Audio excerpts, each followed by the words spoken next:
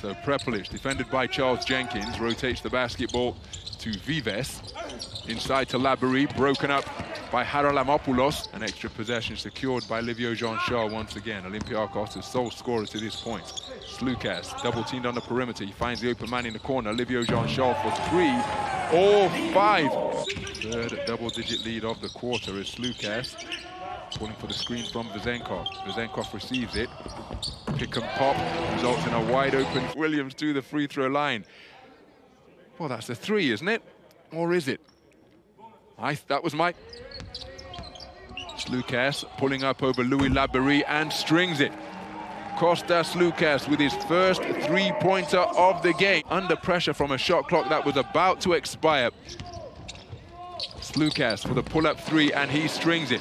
His second three-pointer of the night. And put his team up by 17, their largest lead of the game. Hung up in the air for the finish from Hassan Martin. That takes him to six points in the game. The Sloukas facing up against his former Fenerbahce teammate. He's used his dribble, didn't look for the three. Nice catch by Livio Jean-Charles. He's got a size advantage over Guillaume Vives. Oh, big bucket from Kostas Sloukas, beating the shot clock buzzer. But here, Kostas Sloukas, all the twos from two-point territory, three-point territory, and the free throw line. As Sloukas feeds Hassan Martin, who finishes delightfully with the left hand. After the power dribble to flip it to his front court partner, Mike Tobey, who jammed it home with two hands. Clever play.